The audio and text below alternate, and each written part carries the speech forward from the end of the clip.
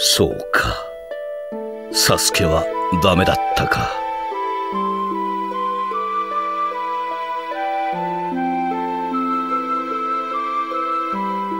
だが安心しろ。わしの手に入れた情報によるとオロチマルはサスケを待ちきれずに他の体に転生したらしい。しかもその転生術を使うと3年以上の間を空けなければならない。時間はまだある。時間はあるって。じゃあさじゃあさエロセンニその間俺に修行をつけてくれよ。今度は今度こそ絶対にサスケを連れ戻してやるんだ。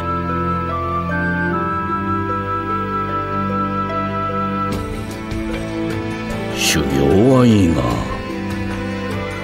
ナルトその前にちょっと言っておきたいことがある。え？サスケのことはもう忘れろ。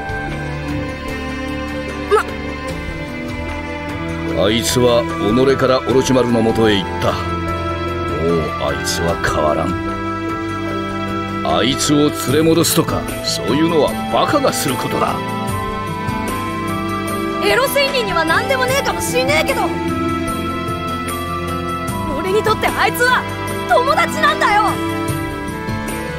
友達が仲間を傷つけるか？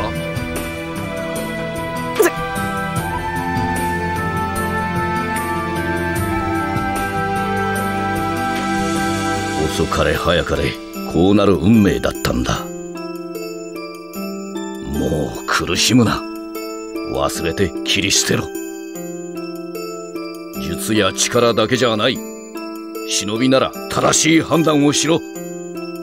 忍びとして生きていくならもっと賢くなれ。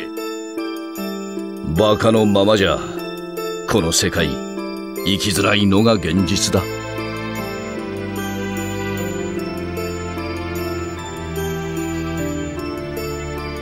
分かったよ。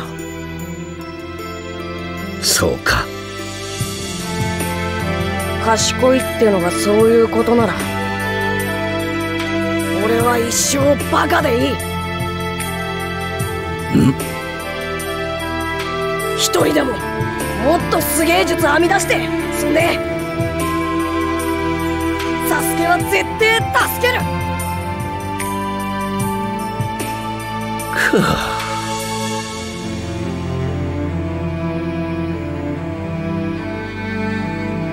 バカはバカでも大バカならなんとかなるかもな。修行覚悟しとけの。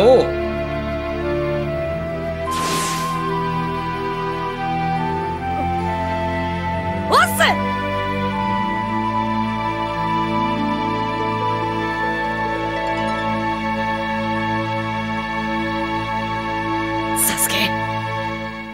待ってろよ。